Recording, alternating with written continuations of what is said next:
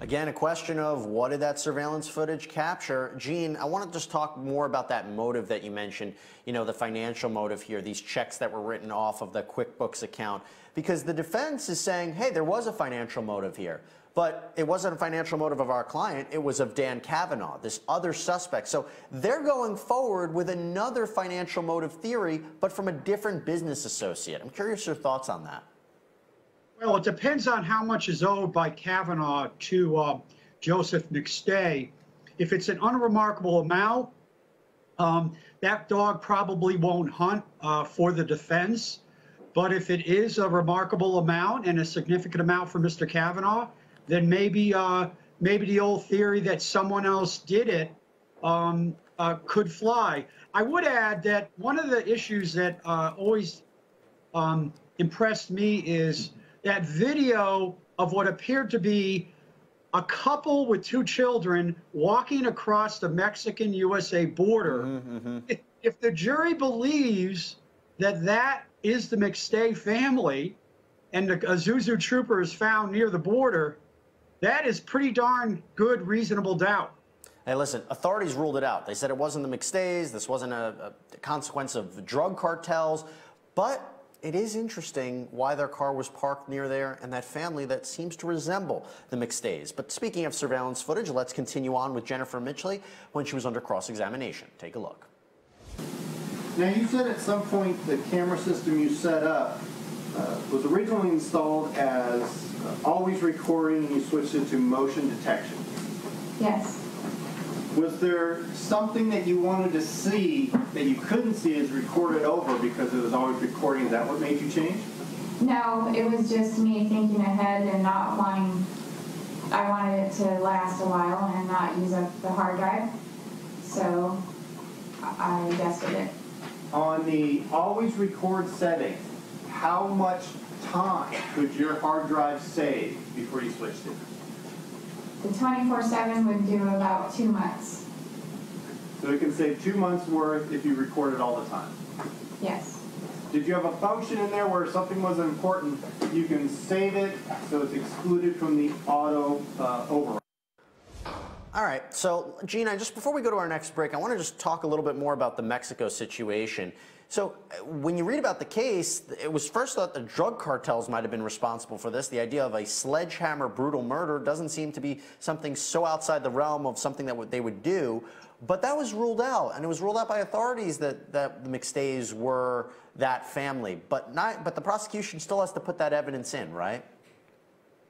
Yes, they have to eliminate the possible alternative theory. But let me tell you this: just because authorities have ruled out in their mind that the the parents and the two children in that video are not the McStays, that doesn't mean the jury's not going to believe it possibly could be the McStays. And I was taught this from an early age trying cases. What are the facts of a case? Whatever a jury believes. So who cares what law enforcement believes? It's what a jury believes.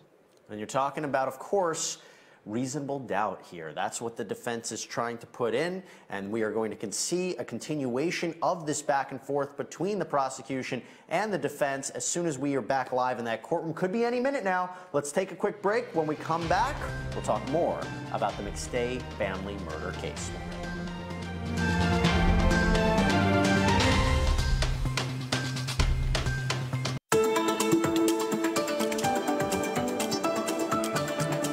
Welcome back, everybody. So we expect to be live in California in the Charles Merritt case any minute. As soon as we have a feed, we're going to make sure to go there. Our very own uh, Kathy Russin, executive trial producer here on Law and Crime, has been there day in and day out, reporting back to us about what has been happening in that courtroom. We expect a really exciting day with some key witnesses, some really good cross-examination. But right now, we're recapping what you may have missed, so you're ready moving up to the live feed today.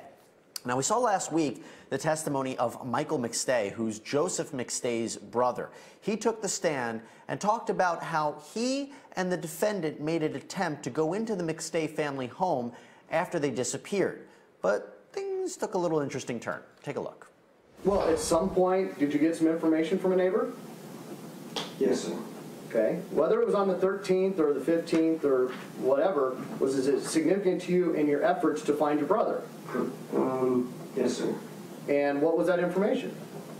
Um, the, the neighbor had said, I can't remember which, it might have been the one to the left, um, in the cul-de-sac, that they had saw a work truck or something that had been parked there. Did they give you a, I'm sorry, go ahead.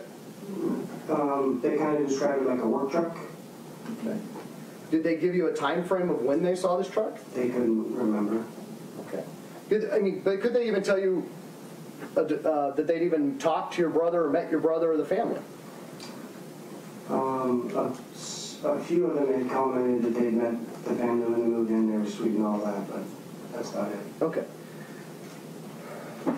Did that information the neighbor give you cause you any type to do anything in particular in looking for your brother?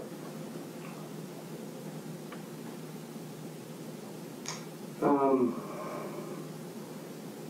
at that point, I was starting to get concerned, but because um, the next day was Valentine's, that Sunday would be the 14th. But I had talked with, and I had talked with friends and, you know, my dad and everyone else, my, my mom. Um, I just said, drop dead date, 9 a.m. on Monday morning. I'm going to the police office to, regardless. Let me uh, fill in our calendar real quick before we move on. So the 13th, you were at the house. Yes. Were you aware of, from the 1st through now, the 15th, were you aware of any other person's uh, efforts to have a welfare check done at the house looking for your brother during that time period? I had heard that Mr. Kavanaugh had made one, but I'm not sure. Okay. Did that go into your state of mind, though, about how you were processing all this information? Yes, sir. Okay. When's the last time you were down that way? Um, one or two years after their disappearance, I went and did a job in Tijuana for a skateboard company, but that's the last time I've been there. about before? Okay, Gene, so his testimony really heats up when he starts talking about the fact that he visited the McStay family home with the defendant, but the defendant didn't want to go in, according to him, because he had a criminal record. What did you make of this exchange? How important is this in the overall theme of the case? I don't think it's uh, drastically important. It is a little odd that uh, he mentioned his criminal record, but I don't think it's earth shattering uh, on the scale of whether he's guilty or innocent. You know, people are trying to get answers to what happened. They're trying to see what uh, Mr. Merritt's involvement was here. Is there a value to putting the defendant on the stand, or do they not need to do this in this kind of case? I would not put the defendant on a stand in this case because I think there's, uh, depends on how the rest of the trial goes, though. But at this point, I would not put him on the stand because there are, based on the, the defense attorney's excellent opening, there are elements of reasonable doubt that they can latch onto. And if you have two or three, you know, latches that you could put your case on for reasonable doubt, I wouldn't put the defendant on the stand unless the case gets progressively stronger for the prosecution. I'll tell you, this case is, uh, there's arguments both ways. It's a very interesting trial to follow. Oh, I'm so glad you said that because you look at a fact or you look at a statement and you can argue it two different ways. You could say, oh, this seems suspicious or this seems benign. The same thing, and I'm glad you mentioned it, with the money that he took out after the, the McStays went missing or when he tried to get. Uh, when, when he had uh, Joseph's mother send him money to continue on with the, the fountain business. You could look at it and say, oh, this guy is clearly embezzling the McStays. He had a motive to get rid of them. The other way of looking at it is, hey, listen, he just wanted to keep the business running. He was owed money. And, and the other thing, Jesse, is I would embrace, you know, the evidence is coming out that there's these weird transactions on the QuickBooks. I would embrace it as a defense attorney and say this. Okay, there was a $4,000 check, there was a $3,000 check. Members of the jury, are you going to believe that my client, Chase Merritt, murdered four people over $8,000? That's beyond belief. The, the, the counter argument to that is I've seen people murder for a lot less. And I mean, that's the other way to look at it. And, and Yeah. we'll talk we'll talk more about that, Gene. Let's just play a little bit more of Michael McStay because he was a key witness from last week. Take a look. Well, in the, in the three and a half years they were missing, you held out hope that they were somewhere, right?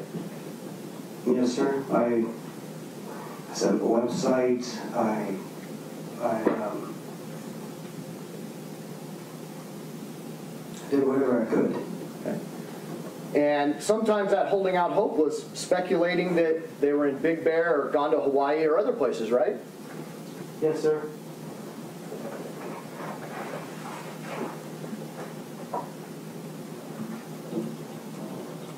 Did you ever get any evidence or be made aware of any evidence that they in fact were in Big Bear, Hawaii, Mexico, anywhere? No, sir. Were you shown a video of a family crossing the border by Detective Dugal at some point? I was. Did you think that was them?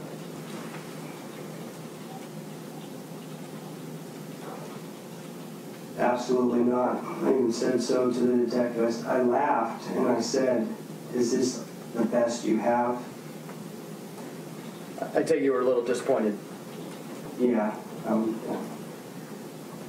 As part of your efforts to help locate your brother's family, did you seek the help and assistance from people and organizations, uh, well, out in California and outside California?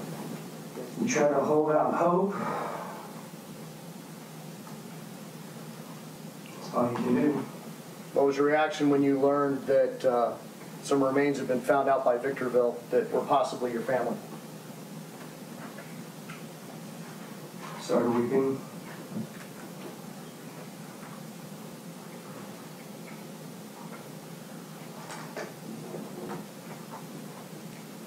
What did you do when you learned that? I um. I called my mother. I made sure she wasn't around people that were. She she said she was at work. I um. Made sure that she was, you know, in a safe place before I told her. I think I actually had to call her back because of that. Um, and I basically just repeated what the detectives told me. Just a compelling witness overall. Again, the brother of Joseph McStay. Back here with Gene Rossi. Gene, uh, we expect today that San Diego County Detective Tony Dugal, who was the lead detective when the family went missing, will take the stand today. I'm curious, what do you think, if you're the defense, what are you going to cross examine him about? I, oh boy, that could lead to a treasure trove of things that could help the defense. You know, how how diligently did you look at alternative theories such as another person did it? How how uh, diligent were you in investigating whether that car at the border, the trooper at the border, was placed there by a drug lord or drug gangs? You know, what efforts did you take to try to exonerate our client, Mr. Merritt, or were you predisposed and preconditioned to point the finger at him? It's a two edged sword. I've seen agents get on the stand and on cross by the defense. They basically destroyed my case because a judge, depending on the judge, allowed them to get into how diligent were they in looking at other theories. And if the jury concludes they're sloppy and they should have dug deeper, at these leads, then they're probably going to hold it against the government.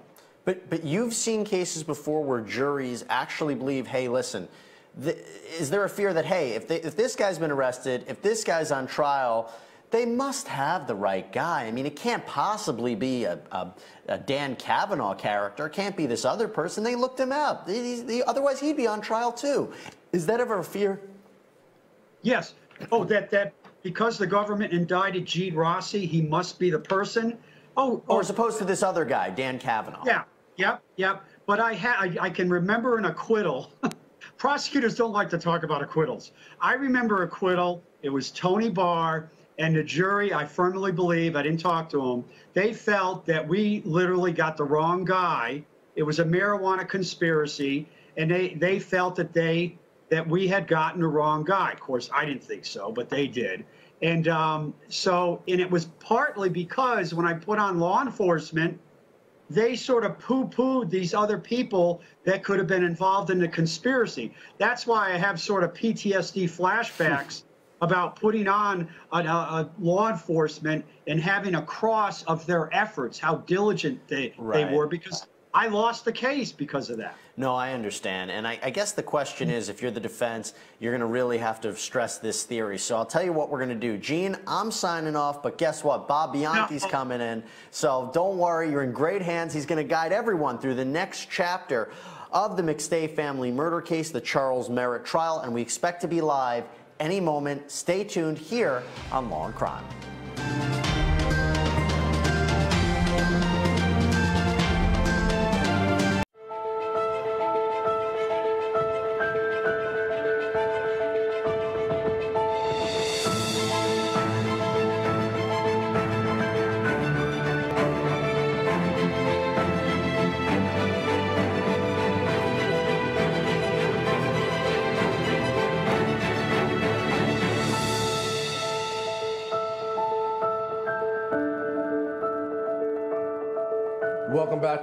Crime Network. My name is Bob Bianchi, and I'm going to be taking it from 12:30 to 4 today. We have this fascinating McStay family murder case. I can't wait to talk to Gene Rossi, who's going to still be on with us after Jesse uh, to talk about this case. I think there's a lot to it, uh, but we also know the judge is in court right now, and they're having a little bit of a discussion about the fact that the defendant Merritt's criminal record came out on the stand. When we get to anything significant in that court, we will go right to it. But as you guys know, this Jayme Closs uh, case is unbelievable. Young girl rescued, thought gone, her parents killed. There she is. And we had exclusively last week on the Law and Crime Network our own Heather Hansen, who was able to speak to the individuals that helped save this girl. In particular, there were two people that came to her rescue and ultimately expatiation away from this horrible guy. The arraignment will be at 4:30. But let's take a look a little, a little look at those interviews. When I saw her, I knew she was in trouble because I knew she had, wherever she came from, she left in a hurry. I didn't know if somebody had just uh, dropped her off or because she just had on um, a sweatshirt and leggings and shoes that were too big for her. All I knew is when she told me who she was, I, I obviously know the circumstances of her disappearance and what happened to her parents and I knew the person who had her was not a good person and I needed to be, have her in a safe place. I went to the first house I thought of because I kind of know the guy there, but he wasn't home. So then I said, okay, Kristen lives down the road from me. I know she's a teacher. I know she'll help us. Uh, my first thoughts were I, I basically went into shock. I mean, it was like I was literally seeing a ghost. We've seen pictures and TV ads and all this stuff, and to have her come in the house and say, "This is Jayme Closs, call 911," was unreal. You know, I I didn't think she was alive, and then to see that in my kitchen was it was quite the shocker. Um, she said she did not know him before this happened. We didn't ask any questions other than who was it and what are they driving, because we were on on the phone with 911 at the time, so we were able to give them the name and uh, the color of the car that he was driving. Anyway, we asked her if she was okay, if she we asked her if she wanted like something to eat, something to drink, and she said no, I'm fine. And she looked really cold, so I just got a blanket out of off of the couch and I said, You look cold. If you're not, you can take it off, but put this blanket on because you look like you're freezing. She was here for approximately a half an hour altogether. When the police, it was probably about 15 to 20 minutes before the police arrived at the house. And then they were here for maybe five minutes or so once they identified her. They had another uh, car come in and get her out of here and get her to safety. I told Jayme when she was sitting on my couch yesterday, I just said, I am so glad to see you. Well, what an unbelievably positive note a, and a major, massive, horrible tragedy. I got my Gene Rossi with me. For those of you who turned in, my hashtag 4041 friend, uh, three decades at the DOJ, trained over a thousand prosecutors, prolific trial career, now criminal defense attorney, legal analyst on the Law and Crime Network, and has his own radio show, The Gene Rossi Show. Gene, it's good to be back with you, my friend. Oh, it's good to be back. I missed you for half an hour. I know. I, I kind of felt jealous that you, you had Jesse for that time, but uh, that's okay. We'll make up for it in the next. Uh, I'll be here at least a four. So listen, Uh, Gene, I mean, this is really amazing, right? We all know from missing persons cases, I've handled many of them, that as time goes on, uh, it's not good. And we should let our audience know that both of these parents were murdered. And apparently, from the investigation so far, she was just a specifically targeted person. There was no real connection between them. He abducted her. And to keep somebody abducted for 88 days, I believe it was, or, or somewhere in that time vicinity, takes a lot of effort and planning, don't you think? Oh, absolutely. It's premeditation on steroids because you got to find a place to live. You have to, or keep her, you know, in kidnap. Uh, you have to. It, it does take a lot of premeditation. Absolutely. You know, and, and you can't, you know, you go into these cases, Gina, and I always say, and I guess it's maybe why you get paranoid when you've done this for so long, so many years for me as a prosecutor and now as a defense lawyer, that it's just the randomness of it. And, and it just seems to me in the three decades that I've been practicing law that when we were dealing with abduction cases or murder cases when I first started as a baby prosecutor, there was a motive, there was a connection. It just seems to me to be more and more random and disturbing today, where you have just targeted people for no reason, and one day you're living your life and you never know what can happen to a loved one or even yourself. Yeah, this is a good example of how allegedly Jake uh, Patterson, I think there was a lot of anger in him, a lot of depression, a lot of uh, bitterness, and it just was building like a volcano. And and Jayme Closs and her parents were became the targets serendipitously. I mean, he didn't yeah. he didn't focus on them initially. Right, and you know the the idea that. Uh, this young girl had the courage to be able to escape under those psychological circumstances is really quite amazing. I'm being told in the McStay family murder case that we have a family friend that's taken the stand. Let's go back to court. Okay, so Gene Rossi, let's get a little talk here because um, prosecutors laying out a timeline. I love timelines. I love timelines as far as an investigation is concerned, and I love them when you present them to the jury. They really do frame very well the cadence of the case. And this timeline is all the times that this family friend who introduced both of these these people together, the, uh, Joseph Summer, um, he was there painting on the 31st, the 1st, the 2nd, and the 3rd. And on two of those occasions, Chase, the defendant, was there. I think I know why the prosecutor's doing it. What are your thoughts? Here's the punchline everybody on that jury has probably renovated their home. And the last thing you do is, when you're doing renovation, is to go to Mexico on a trip. Yep. There's absolutely no way. This is a powerful yet subtle witness because it is destroying a theory of the defense that, oh, we got in the Isuzu, we drove to the Mexico border, parked the car, and walked across the border. You know, That's Gene, what happened. Gene, I, have been really following this case, and our own Kathy Russin is on top of it and sending us all sorts of notes real time from the courtroom proceedings, from the scene. What I'm finding difficult to understand from an investigative point of view, as a person that literally was on these scenes doing these things, is this family up and disappears. Ultimately, they find that there's food on the table and the dogs hadn't been fed. To your point, they're doing construction. Summer's agitated a couple of times because it's not moving in the progress that she wants. They up and disappear, to your point. Uh, they're gone. Like, why is this not a foul play investigation as opposed to a missing persons investigation right from the get go? That, that's when an investigator takes the stand you can guarantee that cross-examination will focus on you had all these red flags and loud gongs to suggest it was an abduction, but but why didn't you begin a murder investigation ab initio? And that'll probably uh, be an Achilles heel during the prosecution's witnesses. Yeah, it'll be interesting to see. Gene, this case is really fascinating to me because I hope we have some time a little bit later on for me to go through a couple of defense theories in the case that I'd be arguing on behalf of the defendant because to me it's a razor edge case. And I think that a lot of what happened here, up to and including the, the police investigation or lack thereof, and waiting a year after the, the, the uh, bones were recovered, is all going to come back to haunt them a little bit. We'll talk about that a little bit more, though, uh, because listen, it's to me right now a 50-50 that each side, a great lawyering happening on each side, which we both love. We're going to take a quick break. We'll be back on the other end.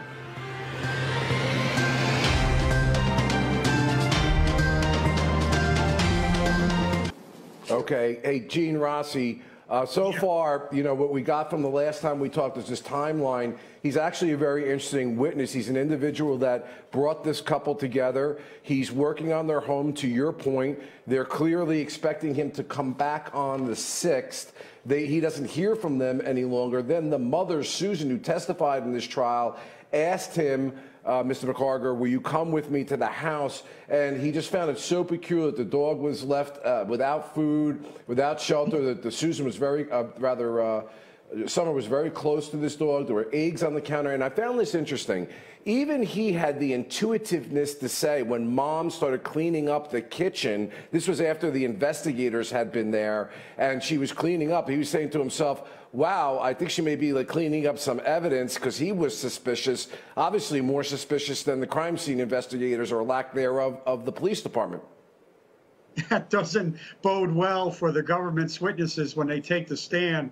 And I got to tell you, this is a fit. I love, first off, I love his name, MacGyver McCarger.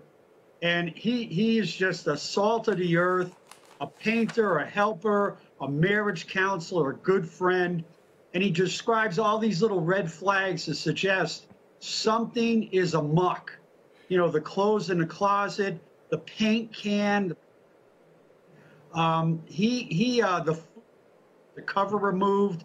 He had this sixth sense that is absolutely remarkable. Yeah, and he actually said that he was making mental notes from when it was when he left to when he got there. So clearly, this guy thought some foul play had occurred. And of course, if the murder occurred there, which I understand is the prosecution's theory of the case, and you have blunt force trauma where skulls are literally being smashed by a sledgehammer, the amount of DNA is extraordinary, very, very hard to clean up, no matter how hard you try. But we got cross examination of this witness. Let's go back to court. Okay, so Gene Rossi, let's go to some of the cross examination of this witness by the defense.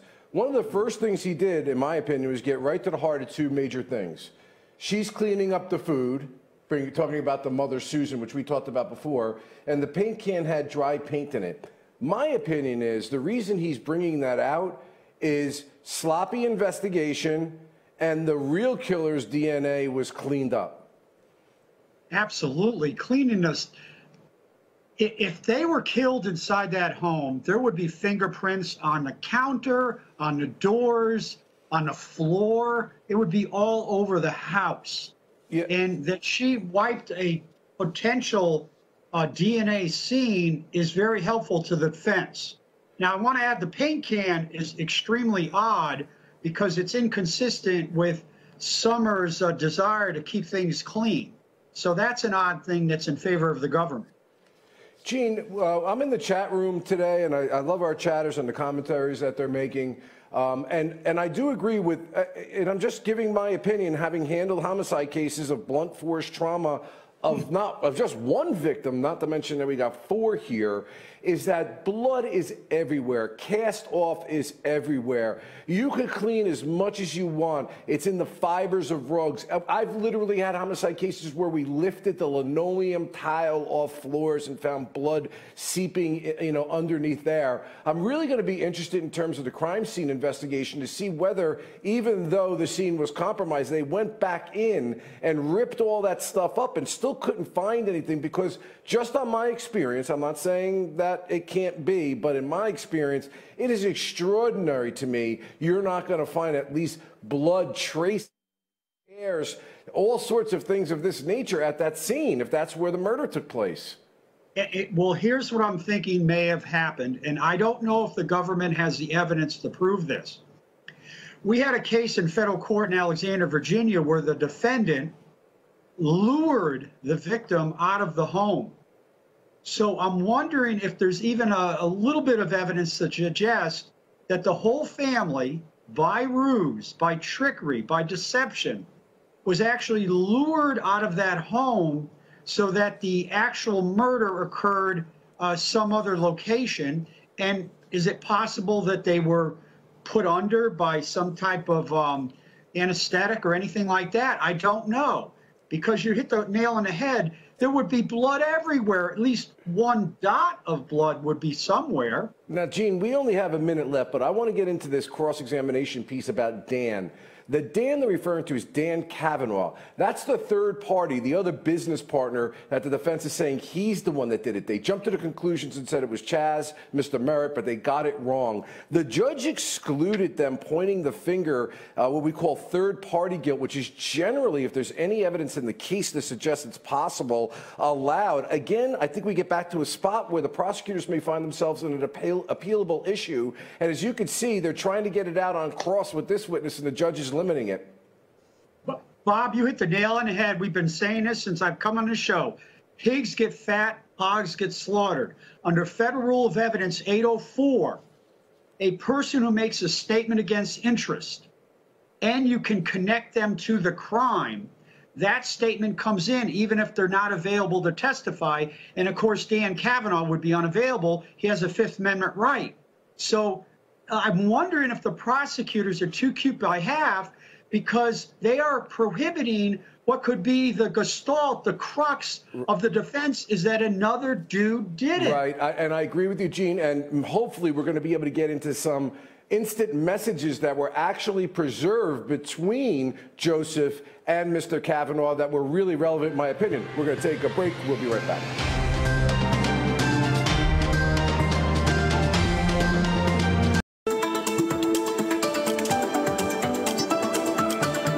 Welcome back to the Law and Crime Network. My name is Bob Bianchi. I'm here with Gene Rossi. We're doing the McStay family murder case. Gene, I want to follow up with this point with our audience because I think it's a really, really important one.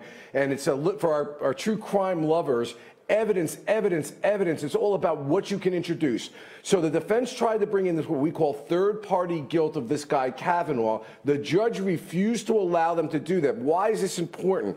Because they argued that there was information that Mr. Kavanaugh threatened to destroy McStay's business if Kavanaugh's demands were not met. And the later, this is a quote, you respond and deal with this, the worse it's going to be. That led to Mr. McStay, who eventually was murdered, to, to quote, respond back, now I, Summer, and kids know the real you and what you would be potentially do to harm me and my family. You're a great guy, Dan.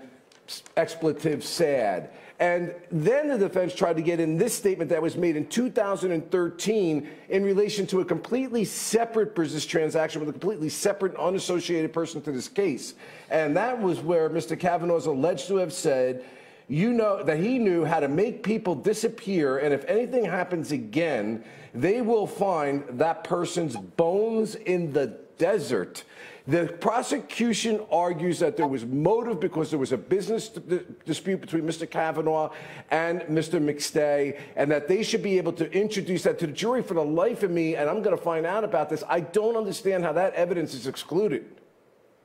Bob, I got to give you another theory. The first statement you made when Joe, Joey or Joe sent that text uh, to Kavanaugh, you could get that in under adoptive admission because that's a statement to which Dan should have responded, You're crazy. I would never do harm to anyone. So that's one theory. But the other theory, and I hope we find out about this, is 804 statement against interest. This is classic 804, and the judge probably found that it was too speculative, you couldn't corroborate it and connect it to the crime. I don't see how you can't connect it to the crime. Well, it's showing a business partner. I mean, if the prosecution's motive in this case is is that Merritt had a financial motive and reason yeah. to do it. now, I, I, have to say, for purposes of this, the prosecution's counter argument was that Mr. Kavanaugh was in Hawaii, um, you know, when this happened, and uh, they made they made some other argument here uh, that he actually called the police to do a welfare check. But that does not mean doesn't mean that Mr. Kavanaugh did it, and I'm not suggesting that he did. But it doesn't mean that somebody didn't do it on his behalf. When you have those statements that are being made, and interestingly to me, Gene, when he's saying that Summer knows and the kids know, and even though they're really young, maybe this is a reason somebody could have because they, the whole family, knows something. To maybe do harm to the entire family. I'm just saying, I'm not saying Mr. Kavanaugh did it. I was just surprised the court suppressed it. And I am very confident at the end of the day that this is going to be a major issue on appeal. And my question becomes, Gene Rossi, if so, if there's a conviction and it's appealed on that basis, will we be back again at the Law and Crime Network, again with yet another retrial for a prosecutor, as you put it, Hogs get slaughtered? Yes, and here's why. This is a death penalty case.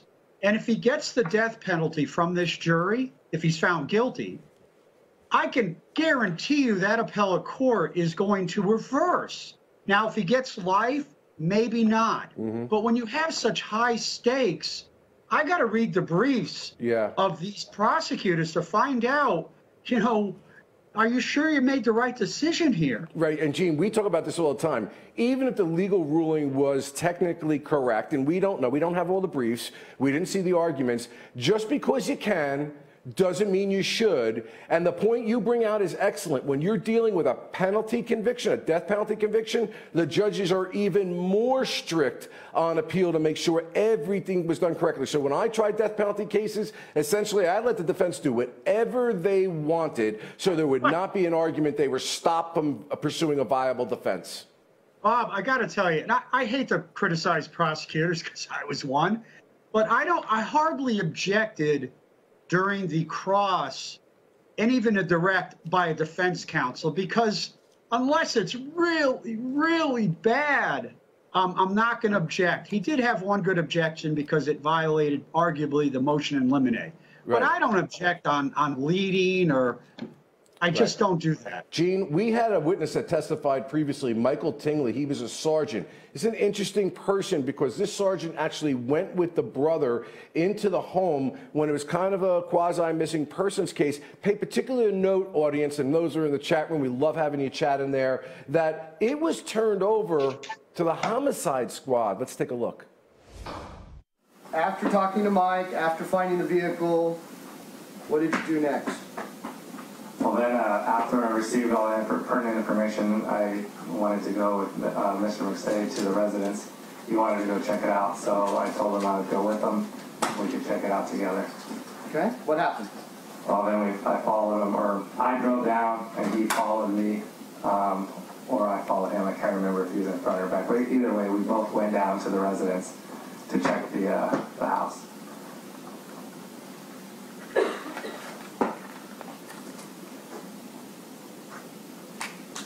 What happened when you got to the house?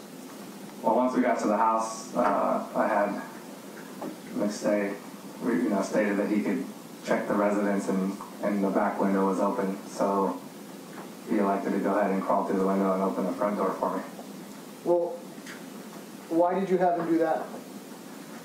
Well, still at this point, um, I wasn't, I knew that he was reporting a missing, but just because someone reported missing, it doesn't give you a right to technically go into their house and start searching the house unless there's some, you know, something that gives you, that right. So in this scenario, just to keep things on, you know, the, the side of no warrant or no information, like information that's created in exigent circumstances, um, I wanted to make sure that legally, um, we were covered as far as going to the house. And because he's a brother and he has permission to go in the house and stated that he's had permission to go in the house and has crawled into the window to the house, I elected to have him do it. He indicated you he had been in there before, right? Yes, sir, he has. Uh, did he indicate when that was specifically? Uh, it wasn't a concrete, uh, date, Again, it wasn't a concrete date, but it was before. correct. Okay. Um, the, so you had him go in and let you in? That is correct. And how did, how did that happen? Well, then he went in the backyard, crawled through the window, and then I met him at the front door. What, did you go in the backyard? Well, then we do what's called a, um, a welfare check. I wanted to go in the house, just to make sure that there wasn't, uh, any sign of, you know, and, you know, any blood or anything that just stuck out to be abnormal, since we are taking a missing person of four, which is not normal. Um, we don't do that very often, should I say. And so I wanted to go in and check and make sure there wasn't anything that we were missing as far as, um, foul play or anything like that. Make sure that if there were people in there, that we could have, you know, helped them if they needed help. Okay, so what did you do? We did a walkthrough of the residence, checking each uh, room inside the residence You any said, occupants. I'm sorry, uh, you said we, did M- Mr. McStay go with you? He was with me, yes. Okay. Um, was it dark yet, or was it still somewhat light out, or, I believe it was still somewhat light. okay, did you have to turn on lights in the house or use a flashlight? No, I believe it was light. It Light. was still, it was still bright enough for us to not have to do that. Okay. And as part of that welfare check um, and cursory search, it wasn't a real in-depth search, was it? No, we weren't uh, going through drawers or anything like that. We're just basically looking in each room and, and checking the closet and the bathrooms and things like that to make sure that there wasn't anybody. Okay, so Sergeant Tingley is now at the house with Joseph's brother. Uh, they go inside and they want to see, they do a welfare check, as he calls it, and uh, to see if there's any abnormal signs or anything missing. Let's listen to a little more. See anything that I believe to be obvious signs of struggle. Well, a knocked over lamp could be, right? Could be that you're reading. But it didn't stick out to you, you're saying? No, sir. Okay. Um, did you see any obvious signs of blood, tissue, dead bodies, anything like that? No, sir. What else would you look for? Uh, blood on the walls, door jams, uh, broken glass, uh, maybe broken windows, um, you know, things that, uh, that would normally be what you might believe to be out of place, maybe something near the front door, like as they're getting dragged out, something just to that effect. Was this normal? Can you uh, Sorry. go further into the question, please? You didn't see any of those things, No, sir. but you called homicide. Yes, sir. So if this was not normal, why'd you call homicide? Well, for several reasons. One, uh, when we did go in, it, it appeared that uh, there was plates of food that were half eaten and just left, and they weren't picked up or moved. Um, people who have families, um, normally after they're done eating, will at least take the dishes to the sink or counter, or somebody will pick them up. Um, it's a missing family of four, um, which is not something that's reported on a daily basis which uh, strikes to have a little concern as far as, you know, maybe something is going on. Uh, the information that I had received from Mr. McStay was that something was not right, you know, something was going on. There was just something not jiving. So when we did the walkthrough of the house, you know, I noticed that they weren't fully unpacked. It didn't appear that it was a fully furnished home. Um, it appeared that whoever was there, in my mind, had just got up and left, which didn't seem, just raised suspicion. It didn't seem like that would be something normal. So to cover my bases as far as making sure that we crossed our T's and dotted our I's, I contacted our homicide sergeant because anything that goes further than 10 days, uh, they receive for follow-up and further investigation.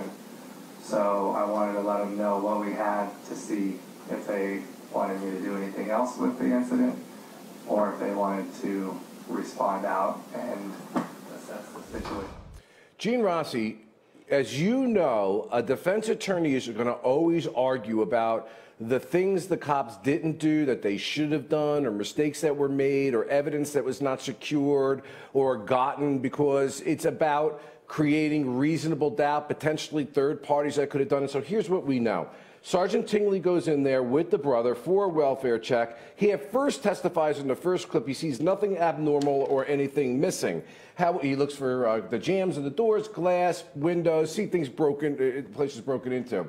But then the prosecutor has to get around this one. And the prosecutor gets out in front of it and says, But why'd you call homicide? Okay, so we remember the friend that goes in there earlier that we listened to his testimony. He felt something was awry and something wasn't right. And in the answer to that question, why this sergeant called homicide, he said, Food was half eaten. Family dishes usually are brought to the sink. You have four people that are missing, including two that are children. Something just didn't seem right. Um, he was it was just not something that people just get up and leave like that. And he wanted to dot I's and cross T's, and that's why he called homicide. Yes, that's exactly what should have been done, maybe a lot earlier, but that's exactly the protocol because it's clear this cop knew something's not right.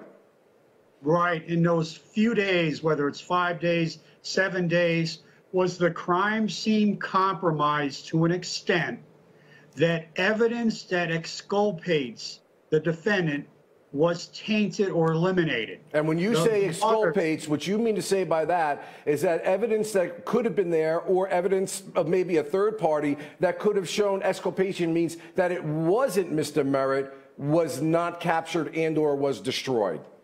Right. Exculpate to me means pointing towards innocence. And there could have been prints that pointed toward in- innocence because they could have been Kavanaugh's or somebody else. There could have been blood that pointed towards innocence that may have been compromised. The sky's the limit. Right, and we will know before I go to break that when the forensic people did the examination of the graves and the skulls and the, the panties and bra of Summer, there was some DNA recovered that did not come back to Mr. Merritt, did not come back to Mr. Kavanaugh, and has yet to be identified. This case is something else. Let's go to break.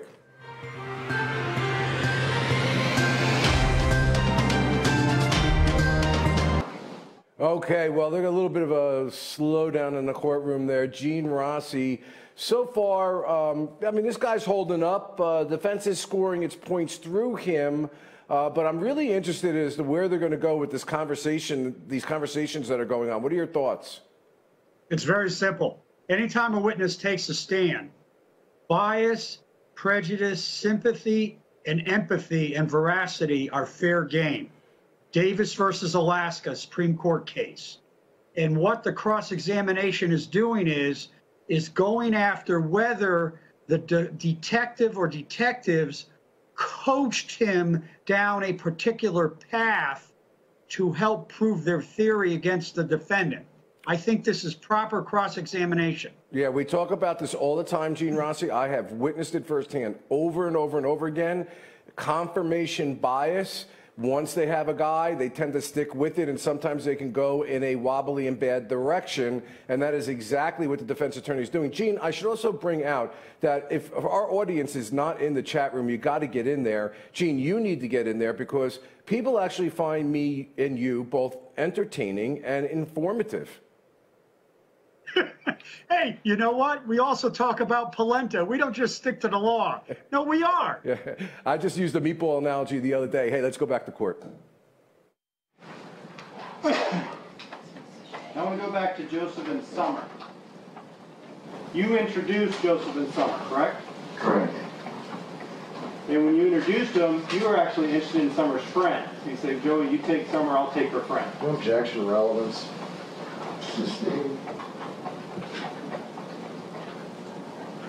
During your conversations with Summer and Joseph, they both treated you like the middleman, as you said, correct? Correct. And so any disagreements between them, they both kind of came to you. Correct. And during those conversations, they both expressed that maybe they should. get Objection married. calls for hearsay. That goes to their state of mind. And counsel open the door. council approach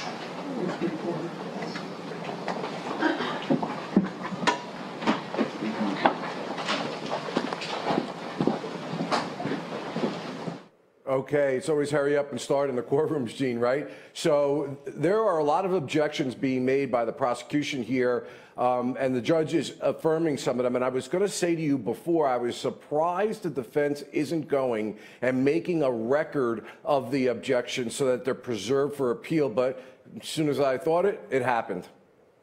Well, what we need to educate our viewers, because they seem to like us, um, you're talking about making an offer of proof. If a judge denies your attempt to bring in evidence, if the judge prohibits you from bringing in evidence, either in a filing or verbally, you make an offer of proof mm-hmm. so that the appellate record can see why you wanted to bring it in. What I don't understand is this, Bob.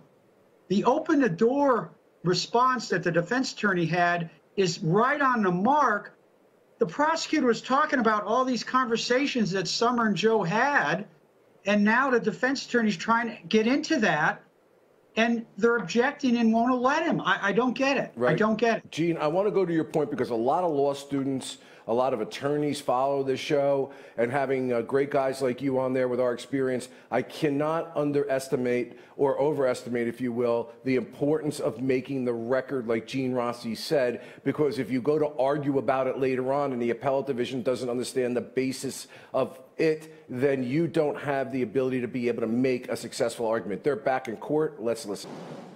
All right, Gene. So, observations so far, this cross examination. Overall, what's occurred? Where do you think they're going to go? Well, it goes to your point, Bob, that uh, confirmation bias is always a powerful cross-examine area. And I think that was the highlight reel for uh, the defense attorney is when he was trying his best to get to the confirmation bias. The other questions, um, I, I, I don't know where they are going, frankly. Um, I'm not sure where he's going with the screwdriver, but uh, I, I would like your your your opinion because I'm confused. We'll, we'll get that on the other end because they're back uh, with testimony. So, let's listen to it.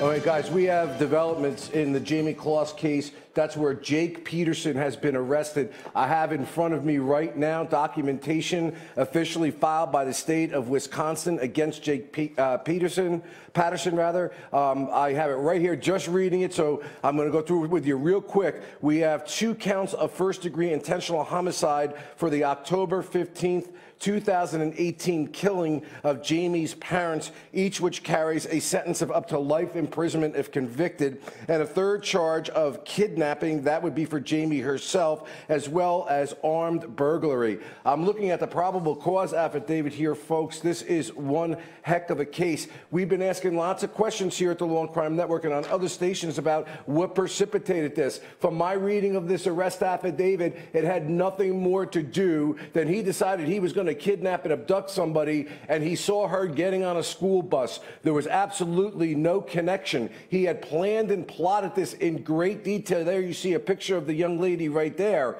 He was going to forcibly enter with a shotgun. He used a shotgun because he confessed to the police that he knew could create the greatest carnage. He wiped that shotgun down, washed the shell casings, had gloves on, had a mask because he didn't want his DNA anywhere to be found, including taking a shower just before going to the home that he had cased for a number of days. He was getting to the door, but the family became alerted, and the father was inside with a flashlight shining outside. And an altercation, if you will, kind of occurs outside where he demands that the father open the door. Apparently, the father thought that he may have been a police officer and asks him to show his identification. Eventually, the defendant shoots through the door, kills the father. Now, if you can imagine this scene, as I understand it from this probable cause affidavit, now mom and the girl go into a bathroom and they barricade the bathroom door and they're now hiding in a bathtub with a shower curtain over it. And this uh, character, this animal, goes inside there with duct tape and then tells the mother of all things to start duct taping her daughter. Eventually, mom isn't able to comply with all this. She puts a shotgun down on the sink. This is very detailed in the affidavit. He finalizes duct taping her arms and her mouth and her legs and then shoots the mother point blank right in the head. Why? Because he knew a headshot with a shotgun would accomplish the result of killing her, and he didn't want any witnesses. A harrowing description is then given as he's trying to get the young girl out of the house and tries to get her to get up to walk, but she's duct taped on her legs so she can't. So he's literally dragging her through pools of blood as he brings her outside. Eventually, takes her, puts her in a trunk after having disarmed the light in the trunk and the light in the car and having fictitious plates so he couldn't get identified. But they had gotten a 911 call off the family, and literally, as he is driving away, he hears the sirens of the officers that are responding to the scene, and clearly, the officers quickly determine that it is a homicide case, a double homicide case, and that she is missing. She then, Jayme, gives a very detailed description, as does the defendant. How he was able to keep her inside his home all that time, which is essentially when he wanted to keep her confined, sticking her underneath a bag and using bags of laundry and weights so that she couldn't get out and or if she was able to attempt to get out, he would be notified. She was threatened on numerous occasions for quote unquote bad behavior, although she details to the police she wasn't really sure what that was and was continually being threatened by him that if she tried to escape or she wasn't good, that he was going to have consequences that were going to be far worse. He had actually had friends and, fam- and family members, I believe, over the home, certainly people over the home during the time of this abduction, visitors, if you will, where she would be placed underneath the bed with the detailed uh, barricades that were there and told to be quiet or else. Eventually, he decides to leave for a couple of hours, and she is able to actually knock over the barricades that had her underneath the bed, sometimes staying in for as much as 12 hours without food, without water, and without being able to use the bathroom. She actually puts his shoes on and is able to escape. And you know the story from there, where those heroic citizens find this poor girl. Uh, Gene Rossi, this is about as bad as you get. It's a horrible case. She was an innocent victim. This maniac just decided that she was going to be the one seeing her get on a school bus, kill two parents, abducted her. I think this guy is about as bad as you get, Gene. We got 30 seconds. Thoughts? Oh, it, the, facts are just egregious, and just being a lawyer and uh, putting my defense attorney hat on, the first motion I'm going to make is to get this uh, venue changed because uh, with all the pretrial publicity, I don't know how he's going to find a jury that doesn't have some preconceived um, notion of guilt or innocence. Well, you know what? I say denied on that. You planned it, you premeditated it. She's alive, she can identify you, say everything you did. She was there when her parents were slaughtered. He's confessed to it. This guy has no defense. It's a sick and sad commentary. We got to go to break. We're going to be right back.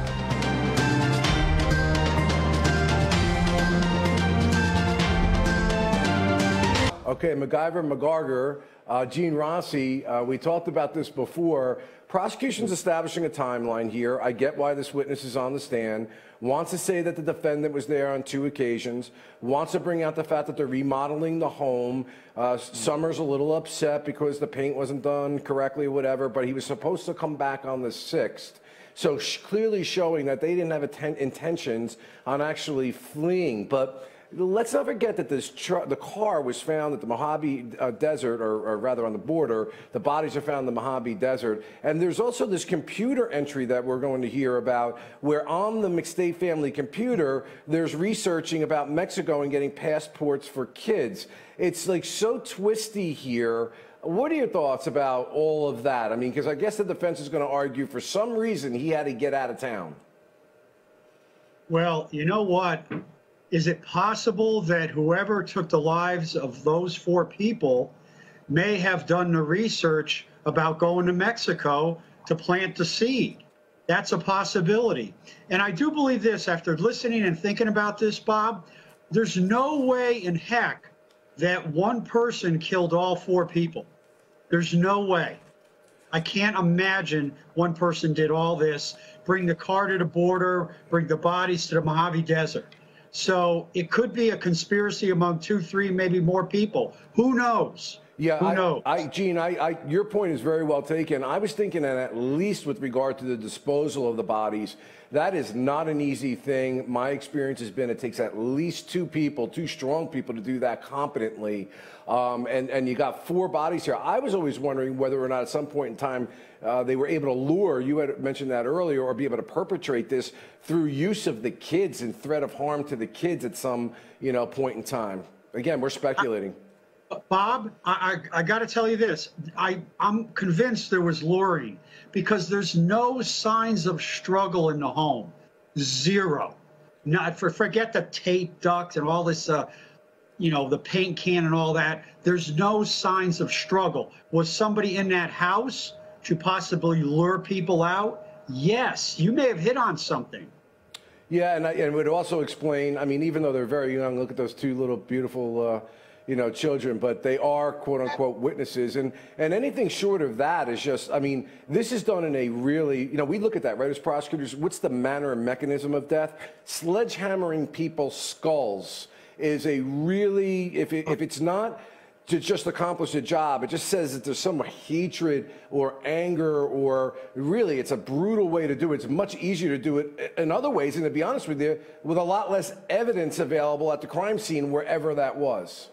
Right. And, you know what, Bob? The person who did the murders, whether it's one, two, or three, they had a depraved heart, or maybe this was a hit job. Maybe somebody was paid. We don't know. I- we don't. Gene, I have been thinking about that as well, although I will say that there is some evidence at the grave sites of potential sexual abuse of Summer.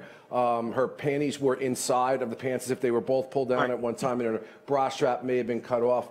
Um, it's really a confounding case. Of course, that's why we're covering it on the Law and Crime Network. Let's listen to a little bit more of McGarger's testimony, and we'll come back with Gene on the other end. And you described Dan in your interviews as he's kind of an irresponsible person? Correct. And you, you, when Joseph was working with Dan, you learned that obviously Joseph was paying Dan. Correct. And is your understanding that Dan was very dependent on the money from Joseph? I think so. Objection calls for speculation. Steve, Move to strike. if there was an answer to the last question, instructing the jury's instructed to disregard the last answer if there was one. And when you were speaking with Joseph on the third in the office, you were talking about the business and his relationship and working relationship with Dan, correct? Correct. And you knew Dan to be a loose cannon? Uh, yeah, a little bit from Joseph. And you would always ask Joseph, how's it going working with Dan? Because you knew how Dan was. I knew that Joseph uh. Objection, Your Honor. Violates motion in limine character evidence. Um, counsel approach. Actually, why don't we take our, uh, recess at this time, fifteen minutes? So, Gene, the motion in limine, I believe that was being referred to there, was the judge precluding the third-party guilt defendant uh, or, or person, Dan Kavanaugh, that the defense, we had read the text messages earlier, wanted to introduce, uh, point the finger at him and say he's the person with the motive, he's the person who had these surly text messages uh, with Mr. McStay, uh, and they got the wrong guy. They rushed to judgment. You could see from all these witnesses, they don't properly do an investigation. They got a cop doing a welfare check that winds up calling in the homicide squad. They're considering it a missing persons case. Uh, and then, you know, I'll take one more point that I, for the defense side that I would argue if I were a defense attorney. Then, after they find the four bodies, it takes them a year to develop a case and say it's Merritt. I would be like, you know what that was like, folks? They didn't know which one to blame, so they took a dart, they threw it against the board, and they said, okay, a hit on Merritt. What are your thoughts about the combination of all that? I completely agree. I, I, it goes back to what you said earlier today about confirmation bias. They had all these possibilities. They had to find a hook on which to put their case. And it's possible that Charles Merritt was that hook left standing at the end. I did want to, for the viewers, because they want to learn about trials, what the heck is a motion in limine? And real quick, a motion in limine is when the prosecution or the defense asks the court to make a ruling before trial to keep evidence out or to allow evidence in. And one's a defensive motion, another's an offensive motion. Right, and in this one, the prosecution was successful. We think it caused potential appellate issues in precluding the defense for having an alternative theory of the case. Gene Rossi, you are the best. We're going to go to break. We'll be right back.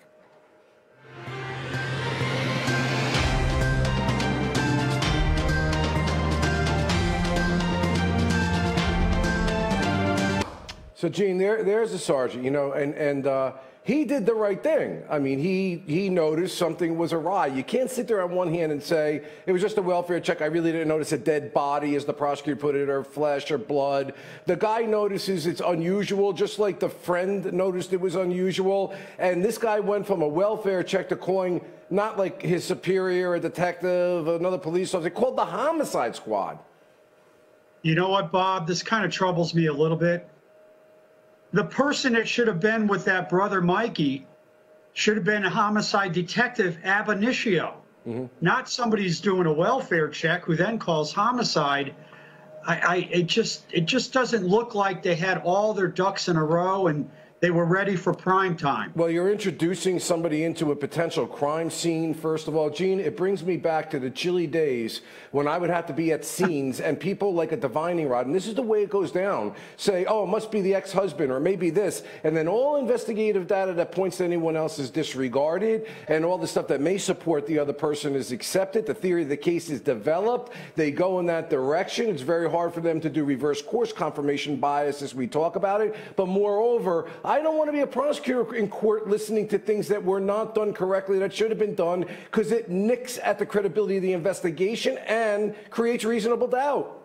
Yes, and to the prosecutor's credit, he is bringing this out during the direct examination, the good, the bad, and the ugly. And for the viewers, it's called fronting, where your own witness, you bring out the bad stuff so that it doesn't have much of a Right. sting on cross. You front it. Absolutely agreed. Hey, listen, you can find Gene Rossi at Rossi4VA on Twitter or myself at R Bianchi, B I A N C H I E S Q. Or I would love for you to subscribe to my YouTube channel, Bianchi Law Talk.